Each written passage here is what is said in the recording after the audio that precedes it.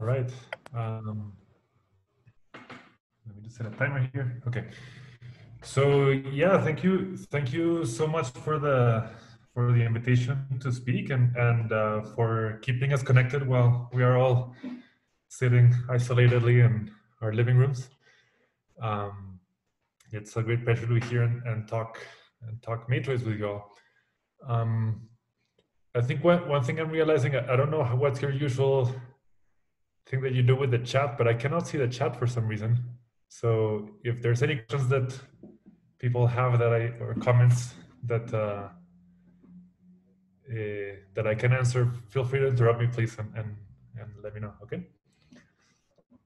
Um, so so yeah, so so my plan is to tell you a little bit about the Lagrangian combinatorics of matroids, and uh, you might see that I changed the the name of my talk, uh, but didn't change the content very much. So uh, so I have called this the geometry of matroids. Um, and, uh, and the idea was basically that there's, there's several new developments in matroid theory that are very much at the center of, of uh, the interplay between, between matroids and algebraic geometry.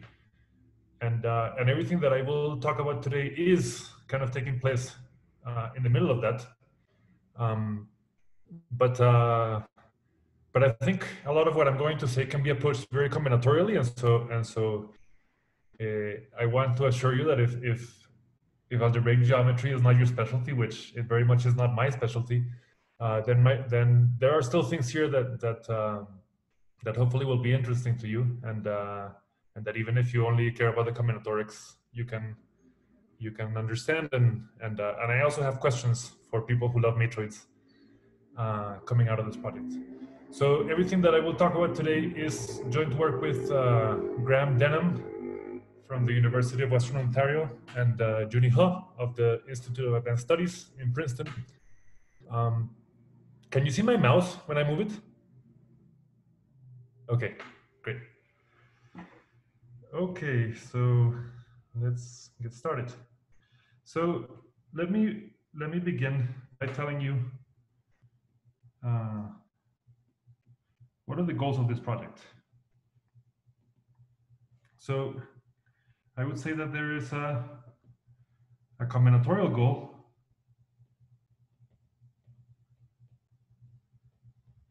and a geometric goal. So first I'll tell you about the combinatorial goal.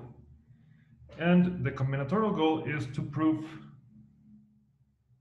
some conjectural inequalities about matroids.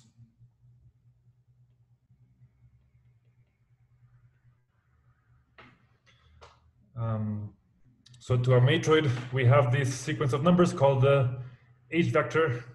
Um, and uh, and the, the main combinatorial goal of what I want to talk to you about today is, is, is uh, how, just tell you a little bit of an indication of how we were able to prove uh, the conjecture that uh, the H vector of a matroid is log concave. Okay, so that's a very concrete combinatorial goal. And then I should say though that, that this was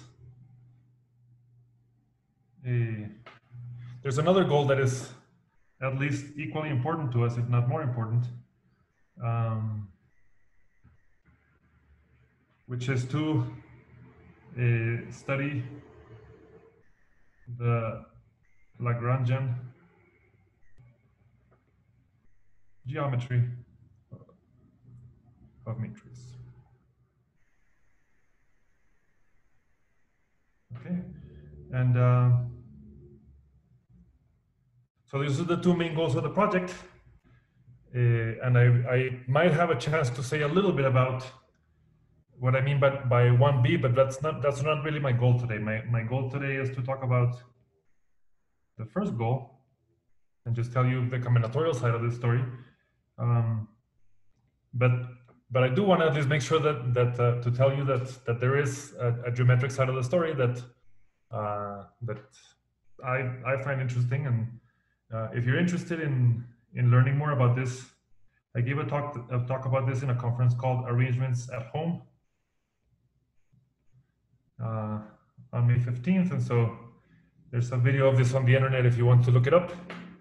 Um, and I'm also going to be giving a talk uh, in the seminar of the Fellowship of the Ring,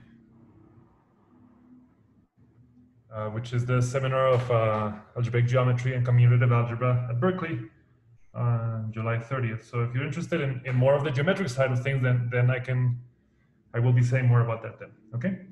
Um, but like I said, my goal today is really to talk about the, the combinatorial side. So let me tell you about that.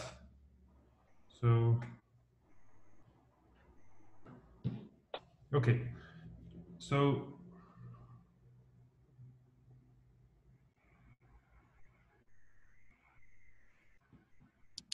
combinatorial goal is to uh, prove the following theorem.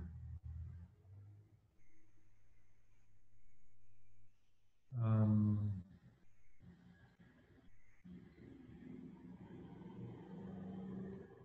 and uh, as I said, this is all joint work with Graham Denham and June Huh.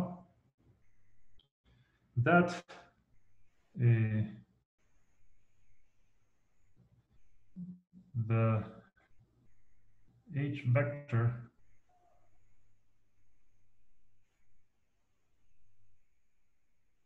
of the broken circuit complex of the matroid.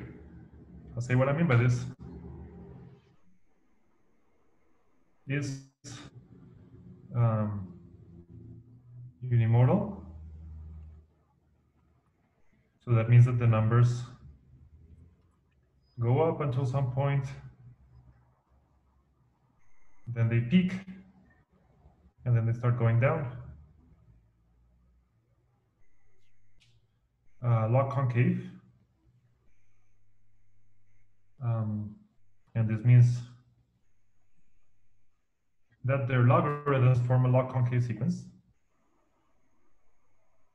Um, and flawless. And this means that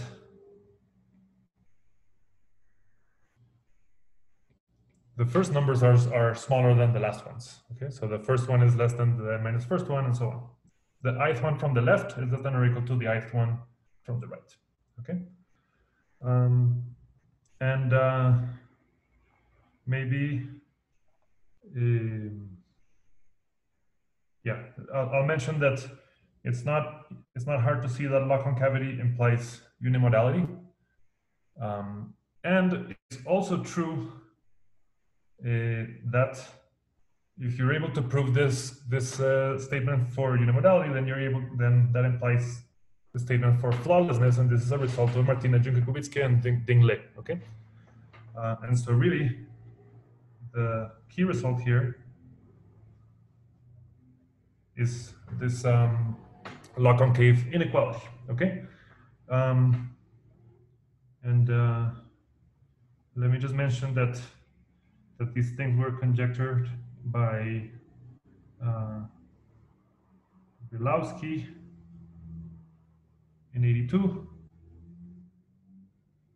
Dawson in 83, Hibi in 89, and Swartz in 03. Okay, so uh, so this is the main goal. Um, this is uh, the main combinatorial theorem of our paper. And, and so let me, let me just make sure that, that we're on the same page as far as what this actually means. So uh, okay, this is, this is the statement. But what is this uh, H vector that I'm talking about here? So um, maybe what I'll say is that the um, H vector is the sequence of coefficients of the characteristic polynomial of the matroid evaluated at q plus 1 divided by q plus 1. If you uh, if you like graphs more than you like matroid, then you should be just be thinking that uh, that this is the chromatic polynomial of the graph, and then you just divide it. So you evaluate a q plus one, and you divide by q plus one. Okay, and uh, this is called the shelling polynomial, the reliability polynomial. There are there are reasons to to study this, but I think just I want to make it very concrete and say this is this is what that sequence is. Um, I will say that if you like the Tutte polynomial, then these are also the coefficients of the Tutte polynomial evaluated at q comma zero. Okay, and um, so I actually want to do a quick example just so that we can make sure that everybody's on the same page about what we're talking about here. So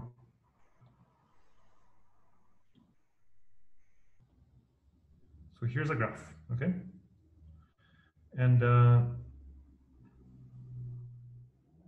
okay, and so I, I want to compute this polynomial. And so what I do is that I say, okay, what is the, the, the chromatic polynomial in this case? This is the number of proper Q colorings of the graph, of the vertices. And, and proper means that if I have two neighbor vertices, then they should have different colors. That's what I mean for a Q coloring, for a proper Q coloring. And Q is my number of colors, okay? And so the way that we usually do this is that we say, okay, uh, let's let's uh, let's start coloring one vertex at a time. And so if I look at uh, this vertex there in the middle, there are Q colors that I can use for it. Now, if I look at this vertex up here, then I can use any color except for the one that I just used. So that's Q minus one colors. Now I go over here and I say, okay, the color that I use here has to be different from these two. So that's Q minus two colors. It's important to notice that these two are neighbors and so those actually are actually different colors. So there really are two colors that I'm subtracting here. Um, okay, now let, us go to this vertex. So, so there's two colors that I need to avoid. So I have Q minus two here, okay? And then I come over here and I say, okay, how many colors can I use here? I have to avoid these three colors. But now the trouble is that I, I don't know if these three colors are different from each other or not, right? Because the, these two are different, these two are different, but I don't know if, if the two corners are the same or different colors. So I actually have to split into two cases. Um, and so let me, let me split into two cases. So go over here. So one case is, okay, let me, let me just make, so, so the first case is when uh, these two colors are different from each other. Okay. And the second, the second case is when these two are the same color. Okay, so in the first case, um, I have to actually reevaluate my computation because I, I see, okay, I started with Q colors here, Q minus one here, Q minus two here. But now if I want to ensure that this color is not the red color, then I actually have one fewer option. And so this Q minus two becomes a Q minus three. Okay, so this is Q minus three. Whereas in this case, if I am forced to use the same color that I used over here, then I have no no choice. I actually only have one one choice here. So let me erase this q minus two and put a one here. So I, I took these q minus two cases and I separated into q minus three cases where I didn't use the color red, and one where I did use the color red. Okay. Um, and then I say, okay, well, in, in this first case, these three colors are not different from each other, and so the number of possibilities here is q minus three okay? Whereas in this case, the number of colors that I have to avoid is the one in the middle and the one shared by these two. So there's actually Q minus two possibilities. Is there a question or? I thought I heard somebody. Um, okay, so, so then in this case, my number of possibilities is q times q minus 1 times q minus 2 times q minus 3 q uh, squared. And in this case, the number of possibilities is q times q minus 1 times q minus 2 squared. And so this is this is uh, the chromatic polynomial of the graph. And if I evaluated q plus 1 and divide by q plus 1, it's an easy computation to see that the h vector is 1, 4, 6, 3. Okay? So that's the sequence.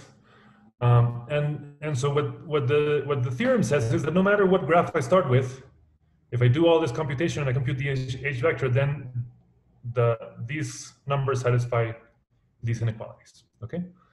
And furthermore, this is not just for graphs. This is for matroids. And so if you know what a matroid is, which uh, or at least you like you would like to know what a matroid is because you're sitting here today. Well, for, for a matroid, there is a, uh, a way of defining this polynomial. It's, it's, it's a different way, but uh, you can define this uh, characteristic polynomial for any matroid and do this computation and you get some h vector. Okay, and the theorem is that no matter what matroid you use, you get a log concave sequence. Okay, so this is uh, the, yeah, this is the first uh, the main goal.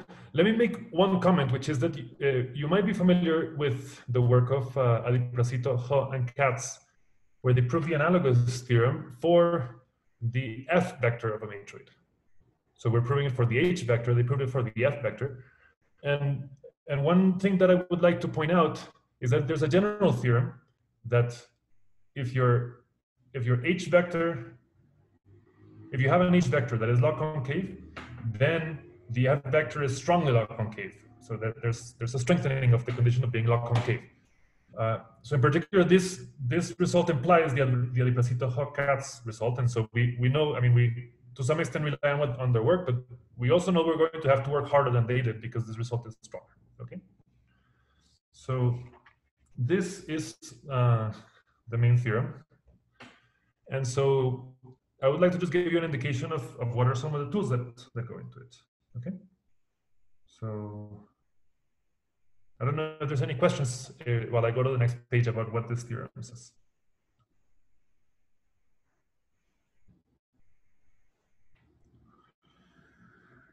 Okay, so the second part of my talk will be to tell you what are some of the combinatorial tools. Okay. Um, and uh, and here what I what I would like to do is is I'm just going to give you some definitions of some objects associated to matroids that we encountered that have beautiful properties and that our impression is that they deserve to be better studied um, by people who love matroid theory, matroid theory like you. Okay, so let me let me draw a parallel here because there's there's a world there's a world of sets.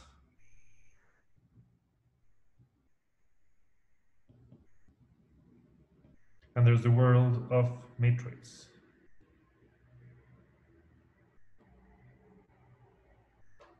Okay. Um, and uh, so for my running example, I'm going to use the set of numbers from 0 to 7. And for the matroid, let me let me just pull the matroid from um, from the previous example.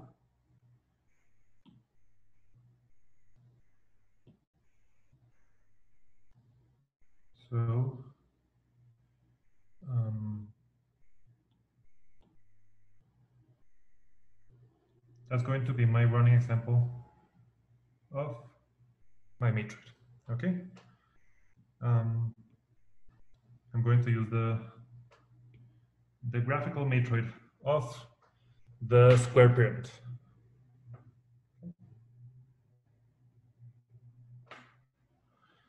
Okay, um, so let's let's uh, make start with some definitions that you are all familiar with, and then go to more interesting definitions. So the first definition is that of a subset.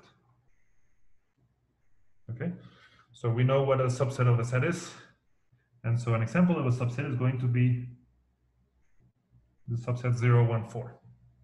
Okay, um, and uh, just to make things a little bit easier to read, I'm going to be dropping uh, all the brackets. Okay, so the the analogous object is going to be a flat in a matroid.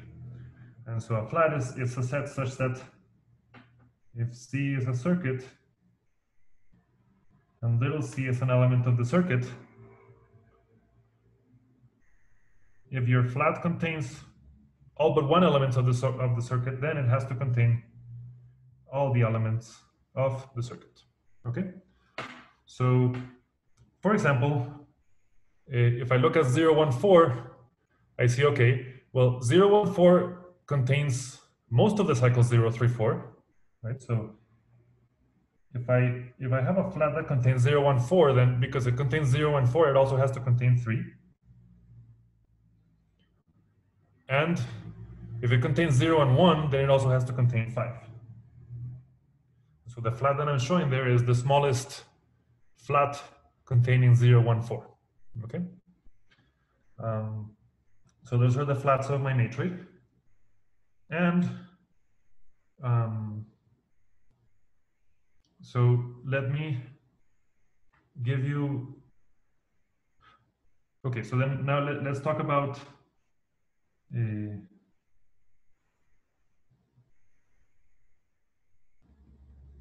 a flag of subsets um, is going to be a,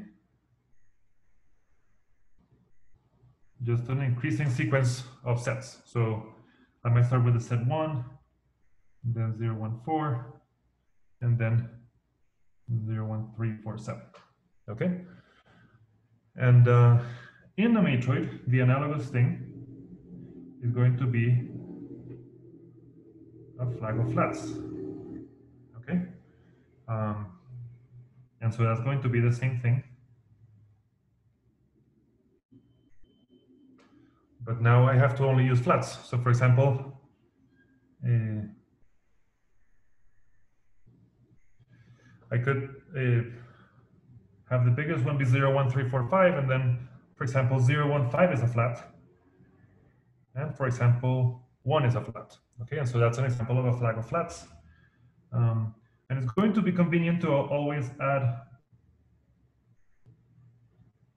the empty set and the full set, but but really the interesting part is this one right here. Okay. Um, okay, so this is very classical. Um, and this, in some sense, comes from the classical tropical geometry of matroids. And so now what I would like to tell you is, what are the combinatorial objects that come from, from the Lagrangian geometry of matroids? Okay, so this is, uh, this is the first series, and now this is the second series of things. And so the first thing which has nothing to do with matroids, is what we call a bisubset. Okay? And a bisubset consists of two sets, S and T, and they have the property that their union is everything. Um, and there's, there's three forbidden triples. So it's not E with the empty set. It's not, sorry, this is not the notation I'm using. You're not allowed to use this. You're not allowed to use this. And you're not allowed to use this. So they're, they're basically the, the, the non-trivial ways of expressing E as a union of two sets. Okay? And so an example would be if I want 0, 1, 4 to be part of a bisubset, then I better make sure that the union is everything. So I have to add all of the elements that I'm missing, and then I can add more if I want. So for example, I'm going to add uh, zero. Okay, I'm allowed to do that. So that is a, a bisubset. Okay, and so now the analogous thing for matroids is going to be called a biflat. Okay, and this is the first new combinatorial gadget that we introduce, and uh, I would love if people think about this and see what they can discover about biflats. Um, a biflat is a, a bisubset such that f is a flat and g is a coflat. So in other words, it's a flat of the dual matroid, okay? And so to do an example, I need the dual matroid. So um, let me bring it over. Uh, so here's my dual matroid. And I guess actually just to keep things in place, let me let me move the the first matroid over. So this is my main matroid, and then I'm going to put the dual matroid next to it. Okay, um, and uh, maybe I'll just I'll just focus the story on on graphs for today. But this is a construction that works for for any matroid. But for graphs, uh, for planar graphs, I should say, uh, what I'm doing is just constructing the the dual graph here. So so here was my graph G from my from my primal matroid. And so to construct the dual graph, I just put a, a I just put a vertex inside each region, including the outside region. And then I can I I join two of them whenever they're joined by an edge, whenever they're separated by an edge. So so for example, this and this are joined by an edge four, okay? And I won't do this on top because it's going to be very messy, but um, I just ask you to trust me, or you can do it yourselves, that the dual matroid is given by this by the same graph but with a different labeling.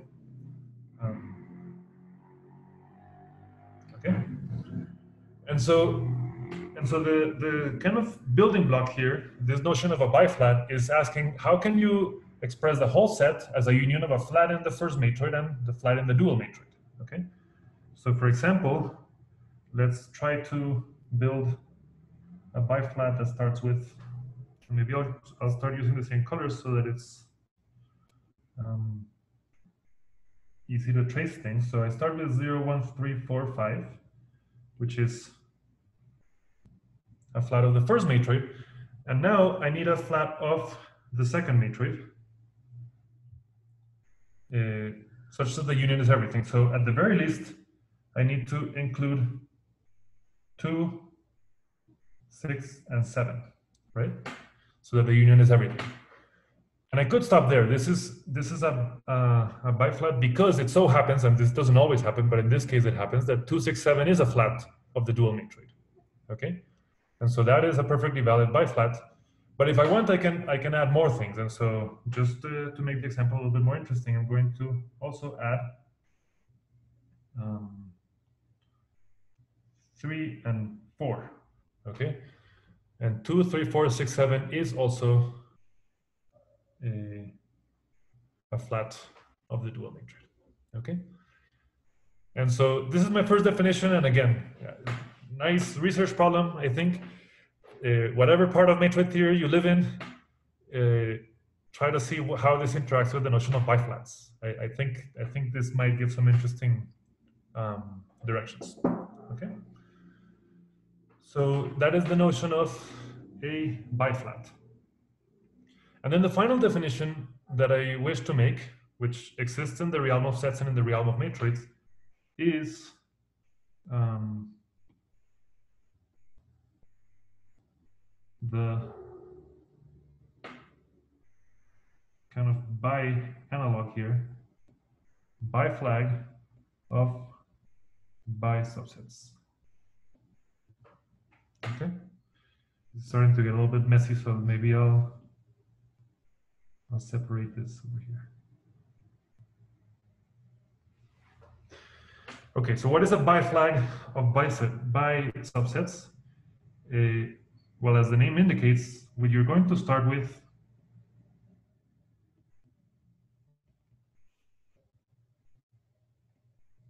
a bunch of bi subsets. Uh, now they should be they should be in a kind of a flag relationship. That's why this is called a biflag. And so what that means is that S1 is contained in S2 and so on, which is contained in SK. Um, and the T's should also be a flag, but in the opposite order. Which it makes it makes a little bit of intuitive sense because S and T are supposed to be the union is everything. So if S1 is small, you need T1 to be big. And if SK is big, you need TK to be small. So that gives you a little bit of an intuition of why they should go in opposite directions. Um, and then there's there's one last condition, which is uh, that SI union TI plus 1 is not E for some I. So that's a bit of a technical condition, um, but it turns out to be what is needed. Okay. Um, and so uh, let's do an example of a biflag of bisubsets. So maybe I'll start with my flag of subsets that I had up here. Um, one containing 0, 1, 4, containing 0, 1, 3, 4, 7. Okay. Uh, and uh, since I already built a biflag uh, with, uh, sorry, a bisubset with 0, 1, 4, let me put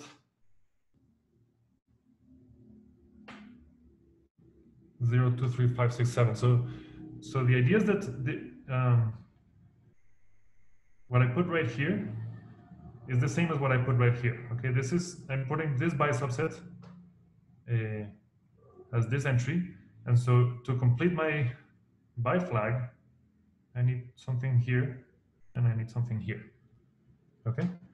Um, and they can be anything such that, so for example, right here, I need to put something whose union with one is everything. And so I'm just going to use the whole set. And uh, right here, I need something whose union with 0, 1, 3, 4, 7 is everything.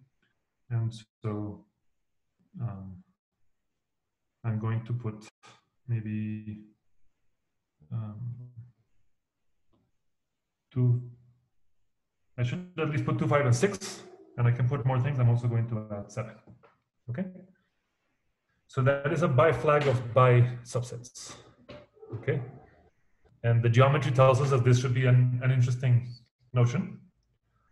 And um, so that's again nothing to do with matroids. This is this is just about sets. But now if I move to the world of matroids, then I'm going to have an analogous notion, which maybe you can already guess what it is. And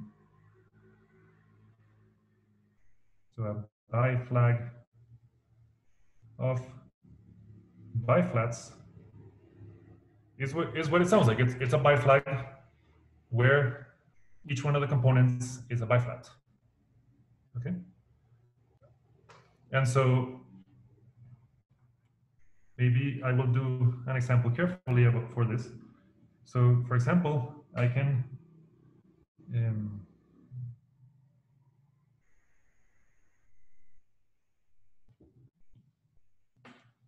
I can start with my I can start with this by with this biflat. Okay. Now let's for example go in this direction. So let's say that I want to put the whole set here. Okay. And then here I can put any subset like that is a flat. So for example, I'm going to put 0, 1, 5, which is a flat of my of my matroid. Okay. Now I could also put um, 0, but then I have to put something over here. And it should be, you can see that the, the only flat of the dual matroid whose union with 0 is everything is the whole set. Okay. Now I can go more, I can go in this direction, for example, I can add something over here, like 267. So let's see, what do I need to add? So 267 is a, is a flat of the dual matroid. And if I want a, a flat in the, in the primal matroid, such that the union is everything, I should at least include 0, 1, 3, 4, and 5, okay? Um, and in fact, this is a by, this is a flat, a flat. And so actually what I, what I have written down here is a bi flag of biflats, okay? And one thing that I would like you to notice that didn't happen over here is that here the inclusions are strict, but here the inclusions are not strict. And so you're actually allowed to repeat sets. But you're not allowed to repeat as pairs. So if, if I repeat this set uh, equal to this set, then I should not make this one equal to this one because those would be the same biflats. Okay, but you are allowed repetitions. Um, and again, it is useful to say, to put E here, to put the empty set here, to put the empty set here, to put E here, um, and, but the interesting part, of course, is this part, okay? Um, and so if, uh, I guess the, the, the main combinatorial thing that I, that I would like to do is, it's an invitation to think about these objects, and I, I, I will I will say why why we find them interesting. Uh, and our impression is that this this which is the central object of this project uh, probably has nice combinatorial properties that should be further studied. Okay. Uh, I have a question. Um, it looks like the the biflag of biflats that you wrote there um, doesn't satisfy the last property. The SI union TI plus one does not equal E unless I'm missing something. Thank you. I, I like that you're paying close attention. So let's so let's test this condition. So so the, the first ones are increasing, that's clear. The second ones are decreasing, that's clear. Now let's check this last condition. This last condition says that uh, this union this, that, that one of the one of the following unions should not be everything. This union this, this union this, this union this, and Alex is pointing out actually never happens. Those unions are always E, and this is this is actually why we add the things at the beginning and the end, and the end because it's actually this union this that is not that is not E. Okay, and so part of the part of the definition is to include this these two trivial things, and then this condition might be satisfied here or here. Okay. So it's satisfied in a bit of a strange way. Okay. All right. So uh, this is, like I said, the main combinatorial object. Um, let me give you a, let me give you an exercise in case you're interested in thinking about this. So here's an exercise. Um, we know that every maximal flag of flats has how many flats? Well, you, if you take any maximal flag of flats, you can always put one flat in each rank. And we're kind of ignoring the trivial ranks at the bottom and at the top. So uh, this is not the exercise that, maybe this is an exercise if you're not used to thinking about flats. This is this is a nice thing to prove. Every maximal flag of flats has size r minus one. Um, now the bi version of this is that every maximal bi flag of bi flats has size n. Let me just erase this. Um, it has size n minus two. Okay. Um, this is not a tremendously difficult exercise, but it's not a trivial statement. And, and if you and if you prove this, I think you'll begin to see how do you how do you begin playing with these things. Okay. So okay, these are the combinatorial tools, and uh, I guess I said this, but let me write it down. Research problem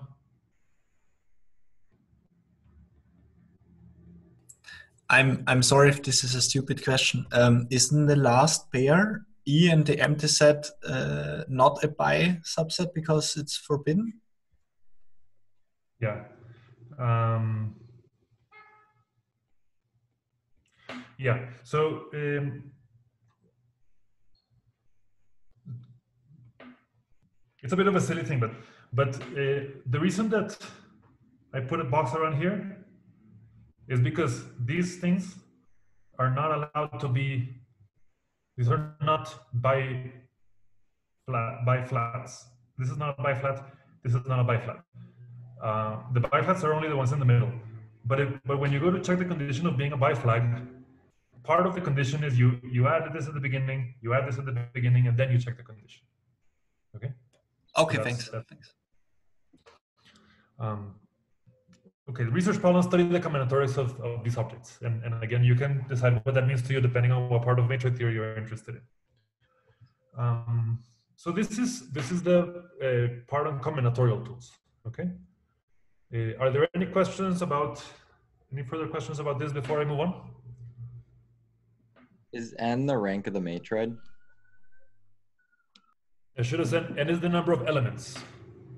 Um, so, for example, in this case, n is eight, and so the maximal biflag should have size six. So you should be able to add two more in here.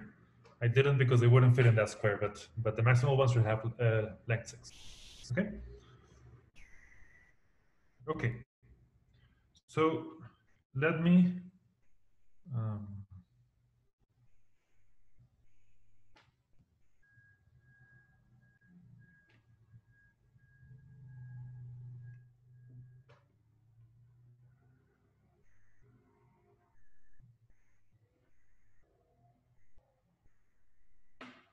The third part is going to be on algebraic tools.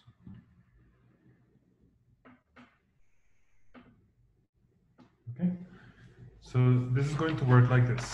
Um, let me get the correct definition here. So I'm going to define a ring which for geometric reasons is called the conormal Chow ring, but but you don't need to know what any of these words mean in order to understand the definition. The conormal Chow ring of a matroid is the following ring.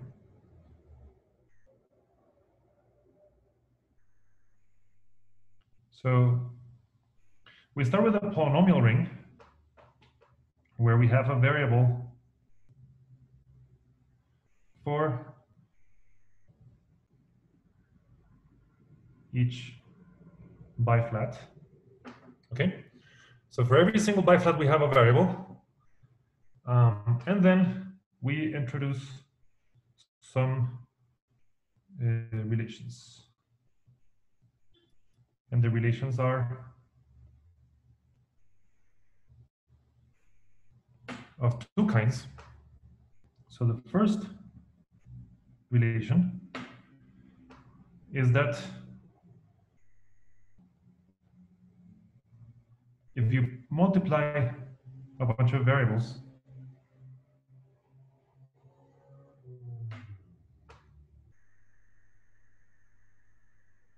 where these are distinct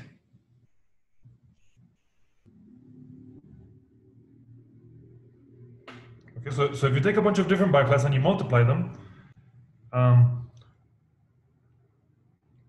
and if they do not form a biflat, then when you multiply them, you're going to get zero. Okay? So, so when you multiply biflats that are different, that's going to be zero unless the the set, the set of biflats form a biflag. Okay. So that should say biflag, Federico? Yeah, I just want to understand Yeah. what you say in the condition. Yeah, sorry. That this should be a biflag. Uh, and so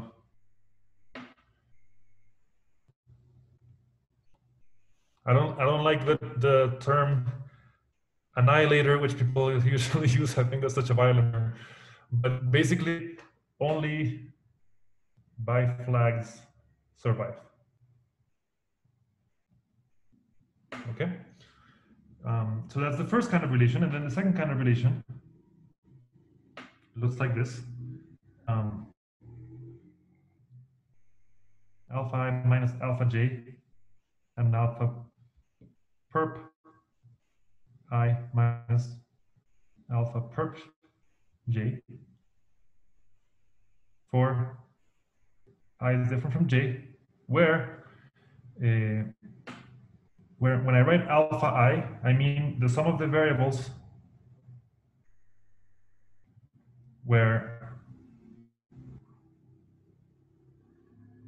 f is in i and it's not the whole set. Okay, so it's a it's a sum it's a sum of all the biflags where the first term contains i.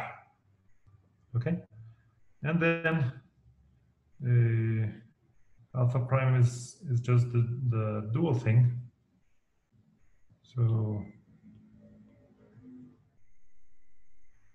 this is the analogous thing, but now instead of f, I have g. Okay, so it, takes a little while to, to parse this, but but what this basically says is I have a bunch of equations that say this x plus this x plus this x plus this x equals this x plus this x plus this x plus this x. Okay, so when you have a big expression in this ring, if you happen to see the sum of the first things of x's, then you can replace it by the second ones. Yeah? If you if you happen to see all of these terms, then you can replace them with all of these terms. Okay, but I think you will see that this is this is a little bit it's not, so easy to work with, and in particular, there's a lot of terms here, so this is not so clear how you're supposed to do this. Okay. Um, okay, this is the normal Chow ring of a matroid. Okay. Uh, if you're interested in the geometric origin of this, ask me in this in the question and answer session. But but for now, this is just going to be a combinatorial ring. And let me just tell you some facts about this ring. Some facts that are not obvious, but that we prove. Uh, this ring is graded of degree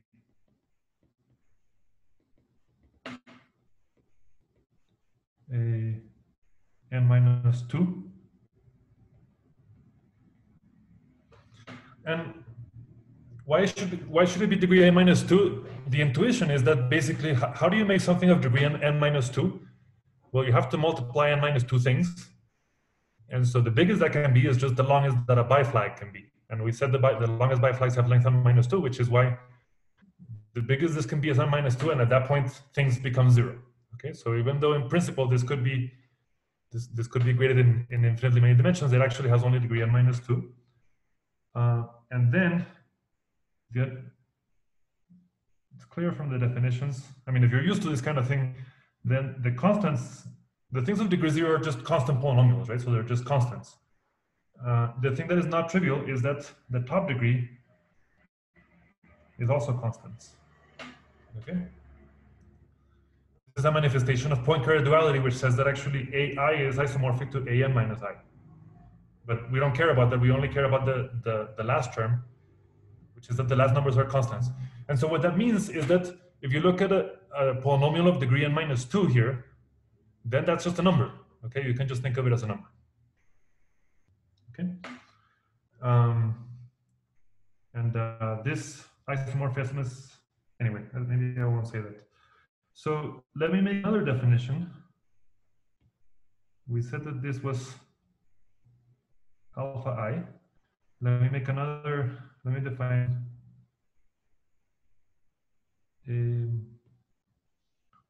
something that will look similar, which is delta i, which is going to be the sum of um, all the bi flats where uh, both f and g contain i. Okay? So alpha takes the terms where f contains i, alpha perp takes the ones where G contains I, and delta picks up the ones where both of them contain I, okay? And again, if, if you would like to play with this a little bit, um, let me give you some, okay, first, let me give you a non-exercise, which is that alpha i is equal to alpha j for any i and j. Now, why is that? Well, that's that's because that's the relation that I introduced in this ring. Okay, you can always take alpha i out, put alpha j in. That's that should not be surprising. Uh, the thing that is less clear is that delta i is also equal to delta j. Okay, and uh, again, this is not a terribly difficult exercise, but it's not trivial. And I think if you play with it, it'll it'll help you understand how this ring works. Okay, um, but so that means that I have a well-defined class called alpha and a well-defined class called delta. Okay, and so let me share with you our main kind of algebraic combinatorial theorem which says the following. It says, what happens if you multiply alpha to the k delta to the n minus 2 minus k? Okay, let's think about that for a second. Uh, this has degree k, this has degree n minus 2 minus k, and so this is this is a term of degree n minus 2. Okay, so so this lives in the top uh, degree of the Chow ring, and so it's just a number. I can I can just I can identify with a number by this map uh, this isomorphism which is canonical. Okay. So this is just a number, and then the question is, what is that number? And that number is going to be precisely the h number of the matroid. Okay, so this is the kth number in the h vector of the matroid. Okay. So uh, what this means is that, remember, these are the numbers that we're trying to prove are log concave. These were the numbers that came from our characteristic polynomial, one, four, six, three. And what we're saying is that these numbers can be given this algebraic interpretation as inside this ring, okay? Um, and uh, if you if you have a similar taste to me, this is just fun. I, I, think this is this is a fun computation. You know there must be some nice matroid theory happening if you're getting those numbers, and so you have to learn how to compute in this ring and do something to to make this work. Um, but the kind of punchline here is that this is we don't just do this for fun. We do this because now uh, through combinatorial Hodge theory, um, and what I mean is that we have to we have to prove that this conormal Chow ring has the has the right Hodge theoretic properties, uh, and because of that, we get the theorem that this sequence is log concave. Okay, so it's not just a, I mean, this this is a fun algebraic combinatorial statement, but uh, but the reason that we want to do it is, is because it is the kind of statement that allows us to prove lock on concavity. Okay, um, and uh, if you are familiar with a little bit of the relevant algebraic geometry, uh, you might know that things that look like this, uh, there are tools in algebraic geometry to prove that things that look like this are log concave. There's something like the Alexandrov Fenchel inequalities um, there are several other tools that look like this. And so basically, we take our combinatorial numbers, we interpret them algebraically, and then through a combinatorial version of algebraic geometry, we get that the, that the numbers are log concave. Okay. Um, so this is this is a very rough idea of how this works. Okay. Um, and I think maybe okay so you told me that i could go as long as i want. I'm not going to go for long i'm not to go for three hours. Um, but i do want to say a little bit more about just how how do you go about proving something like this? Because i think especially if if if you're interested in, in the combinatorics of matroids, then this is actually the statement that might be the most interesting. And so maybe I will continue for a few more minutes, not many more minutes, five or 10 minutes, but if you have to go, then then please don't be shy and go, and I won't even know, so because I, I cannot see you. Uh, so let me just give you a, an indication of how this how this kind of thing. How do we prove something like this? So how does how do I take this theorem? Um, how do we prove something like this?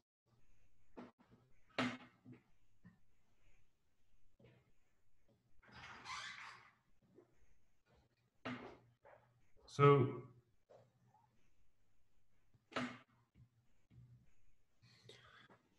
we we have we have at least two proofs of this of this statement. Um, so the the first proof um, is uh, is geometric.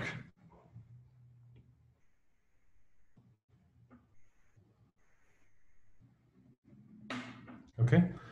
And I, I mentioned this because if, if you look at our paper, the proof that you will find is proof number one. It's a it's a geometric proof, and um, and maybe I'll just I'll just say uh, what should I say here? Uh, maybe I'll just say that we have to do some some nice algebraic combinatorics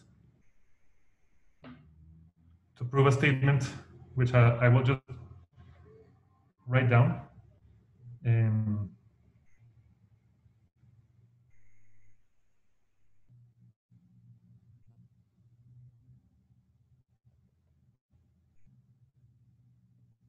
so we, we have kind of a refinement here where instead of using alpha to the k, we actually take uh, these, these monomials of a certain form, we multiply them by this, and we get something which we call the beta invariant of a flag. For any flag f of m. So, so what this means is for, for any flag of flats, you can make a model of it in a natural way. And you can basically, its, its degree when you, when you multiply by this thing. Um, and you get a bunch of beta invariants, which are these nice combinatorial numbers that matroid theorists like, okay?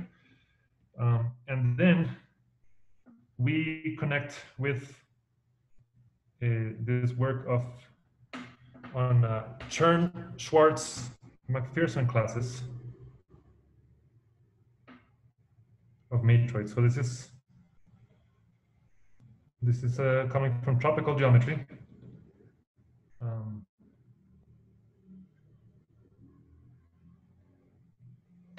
So these CSM classes are, are basically like this analog of Chern classes for varieties that are not smooth.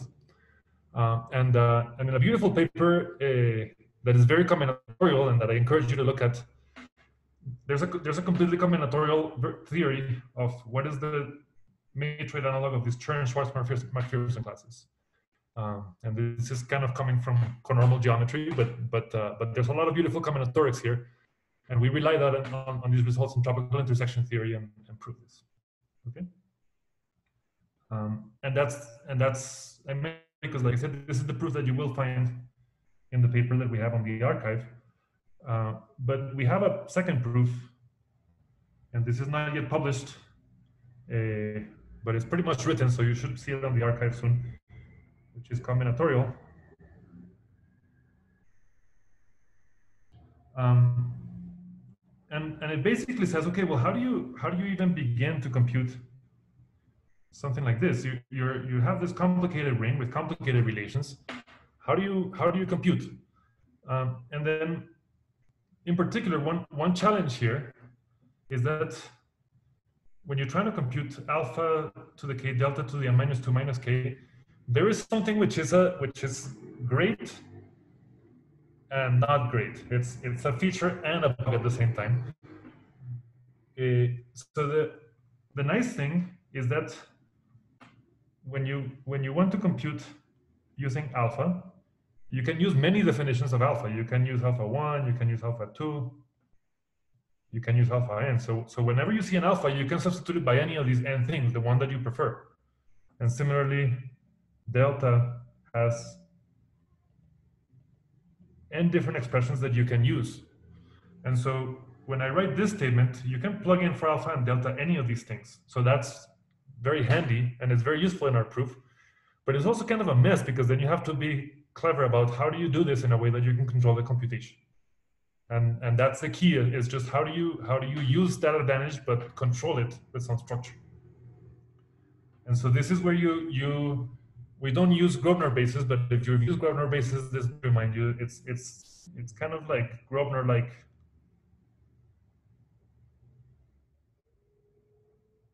computations. Okay. Um, and uh, but then the way that Gröbner bases always start is you have to choose an order on your terms and then you do Gröbner bases. And so for matroids, what does that mean? What that means is you have to choose an order on the matroid. Um,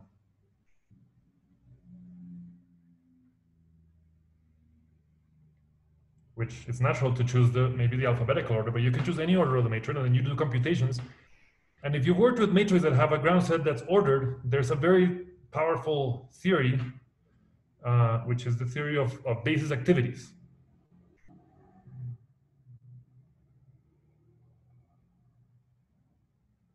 And so the nice thing is that when we when we do these kind of Gröbner-like computations, we order the matroid, and then what ends up happening is that we just run into a lot of basis activities. Okay.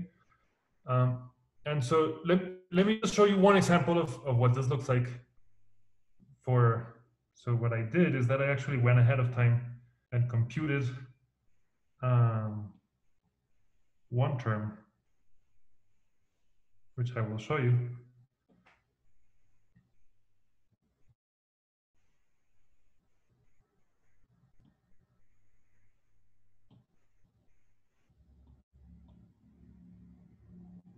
So this is the computation for the matroids that I had earlier. So let me let me bring them down. Where did they go? I'm gonna take these matroids.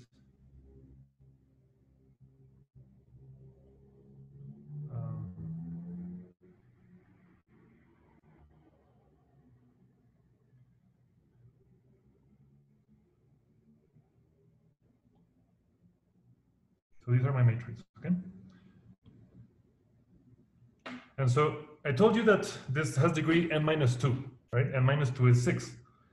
And so, and let me remind you that we computed the h vector for this. And we saw that it was 1, 4, 6, 3.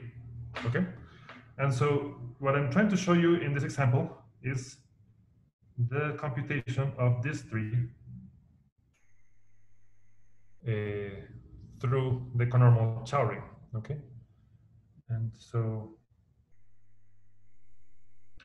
and so what I have to do according to this, to our theorem, is that I have to just compute delta to the six. And if I want the answer to be three, it turns out that what I need to do is write delta to the six as a sum of three terms. And each one of these three terms is given by a biflag, okay? Um, and so this is the computation. Now, how do we get to this? This is this is uh, where I have to be honest. I thought this was not going to be hard, but it turned out to be tremendously hard, at least for me. And uh, and the proof is like 30 pages of basis activities.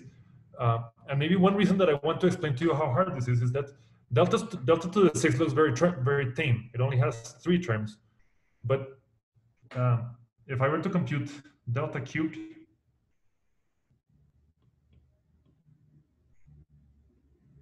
we did compute delta cubed, um, and we found that it has a 586 terms. Okay, so so I, I, I, say that to, to help you understand that delta is complicated, delta squared is more complicated, delta cubed is more complicated, delta to the fourth is more complicated, and so delta to the five is less complicated. Delta to the six is even less complicated, and it's actually very simple and we can understand it. But the irony is that we actually don't understand the lower powers, but we only understand the power that we need to understand, delta to the sixth. Okay? And, and just to give you an indication of what is the combinatorics behind of this, okay? Um, let me just underline some terms here. So six, five, and four.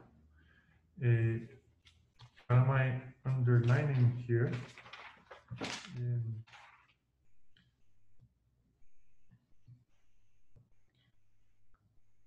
I underline the biggest term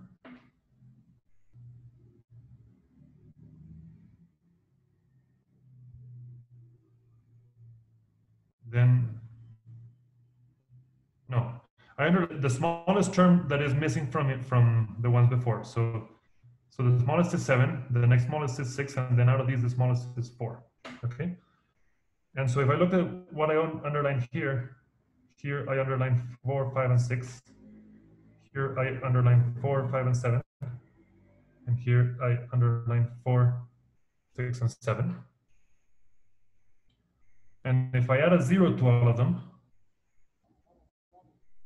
then these things are what are called the beta NBC bases.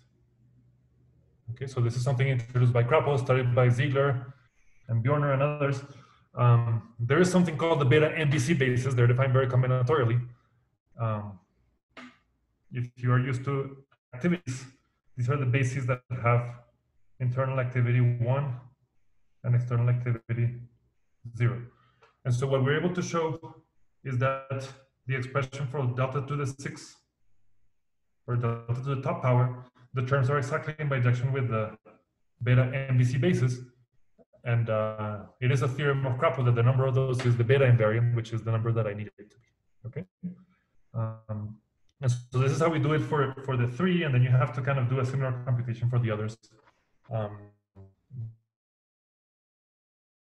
then a little bit of the combinatorics that is at play. Okay. Um, I was hoping to say a tiny bit about what are the geometric tools, but I think I should stop here. I don't want to run uh, any longer. And like I said, I'm, I'm going to give a another talk on the more geometric side of things in a couple of weeks. So you're very welcome to come to that. But I think that's a good place to stop. So thank you very much. Thank you, Federico. Uh, are there any,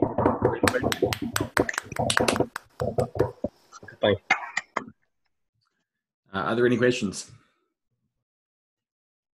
Well, I realized that I just found the the chat. So if you write questions on the chat, I'm happy to answer them or comments or feedback or anything. Um, I'll get us started. Uh, the Hodge theoretic tools, is there any chance of making them combinatorial in a way similar to what you just alluded to for the um, the algebraic lemma? Okay, so what? So uh, yeah, let me think about what what to say and what not to say about the Hodge theoretic tools because there is a lot to say there. But um, maybe um, Okay, let me let me say something, which is that if you have a polyhedral fan, okay, so a bunch of a bunch of uh, a bunch of uh, polyhedra glued together at their edges, um, then there's something called the Chow ring of the fan. Okay. Um, And so one thing that's at play is that the, the, there are two fans associated to a matroid, one called Bergman fan, one called the conormal fan. And, uh, and the, the conormal Chow ring is what happens when you, when you put the conormal fan here, okay? So this is a Chow ring, uh, so it's, it's some ring, and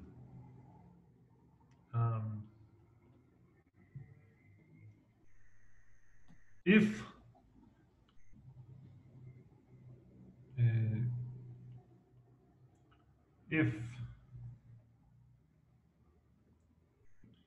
if sigma is nice, then this has some properties, um, which is Poincare duality, that that the ith degree is isomorphic to the n minus ith degree. You have hard Lefschetz, which gives you an, an explicit isomorphism between those two. And you have these Hodge-Riemann relations, Mhm. which says that some bilinear form has a certain uh, sign signature, and it is this Hodge-Riemann that allows you to prove log concavity. And this is what people talk about when they talk about the Hodge theory of these things. And so the key question here is is what is what is nice here, okay? And, and so uh, one word that some people use and that we use is that the fan is Lefschetz. Okay, um, and there's some definition, but the big question in combinatorial Hodge theory, I would say, is which fans are Lefschetz. Okay, um, and this seems to be an extremely difficult question. So, for example, we we know that all complete fans are Lefschetz. So if they cover the whole space and they're rational, they're Lefschetz. We we give a proof of this in our in our paper. I mean, this is the, this is an old result of McMullen, and we give a new proof. Um, so complete fans. This is due to McMullen. Uh, the Bergman fans that uh, Carly Klivans and I introduced of a matroid, uh, these are Lefschetz, and this is the main result in the, the main geometric result in the Adiprasito Huh Katz paper of, of 2020. And what we prove is that conormal fans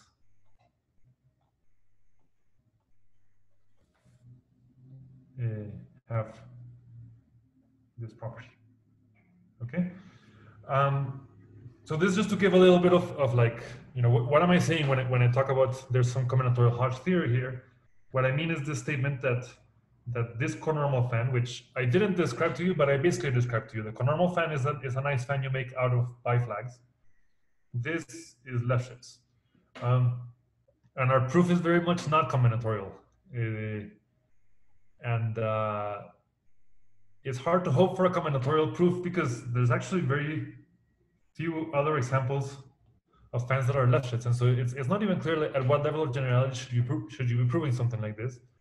Matroids have this property, and I, I, I think it's fair to say that nobody really fully understands why matroids happen to have this property that you know most fans just don't have this property and it's and it's very exceptional that, that to have this property and one of the very nice surprises is that matroids have this property and i should say that's one of the reasons that all of a sudden a lot of algebraic geometers want to learn matroid theory because it's a very rare property and and um, but yeah our, our proof is not very combinatorial i mean there are some combinatorial ingredients but we actually have to just develop combinatorial Hodge theory further and and, uh, and the matrix come in but but uh, yeah at the moment i have little combinatorial hope that we can a little hope that we can kind of make that theory combinatorial. I would love to see that but i, I don't i don't know how how you would do that Um, are there any other questions? Okay, well then I'll stop the recording and